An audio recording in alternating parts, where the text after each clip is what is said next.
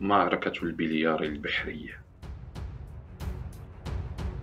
معركة البليار البحرية أو ما تسمى بمعركة فورمونتيرا هي معركة نشبت بتاريخ 28 تشرين الأول من سنة 1529 ميلادية بين الدولة العثمانية والإمبراطورية الإسبانية. كانت نتيجتها انتصار عثماني ساحق في جزيرة فورمونتيرا بجزر البليار على مقربة من الساحل الإسباني قبالة مدينة فالنسيا. قامت المعركة عندما قام أسطول عثماني تحت قيادة أيدين الرايس بتوجيه أسطول إسباني صغير مكون من ثمانية قوادس إلى خارج جزيرة فورمونتيرا القريبة من إيبيزا.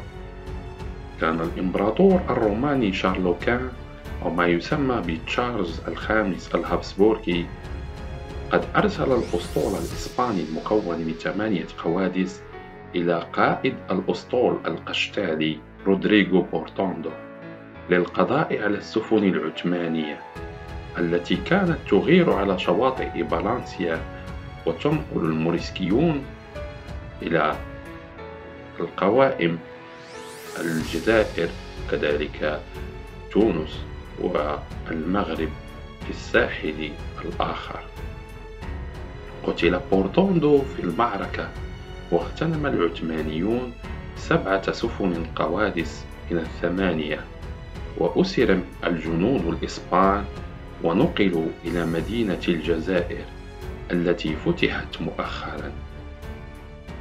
يعد هذا الانتصار انتصارا ساحق في عهد السلطان سليمان القانوني على الإمبراطورية الإسبانية والذي أكد سيطرة الدولة العثمانية وإمبراطوريتها وكذلك قوافلها التجارية على العالم في ذلك الوقت. وبالتحديد الغرب الأطلسي وكذلك غرب المتوسط قبالة إسبانيا مباشرة بعد سقوط الأندلس. هذا السقوط الذي دوى كثيرا ولو سعفها الوقت في ذلك الوقت بعهد بايزيد الثاني لقامت بمعاونة بني الأحمر على صمودهم في غرناطة.